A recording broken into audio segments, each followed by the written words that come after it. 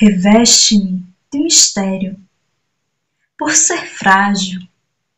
Pois bem, sei que decifrar-me é destruir-me. No fundo, não me importa o enigma que proponho.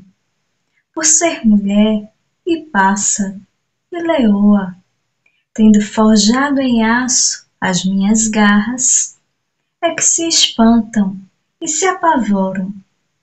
Não me exalto, sei que virá o dia das respostas, e profetizo-me clara e desarmada, e por saber que a morte e a última chave adivinham-me nas vítimas que estralhaço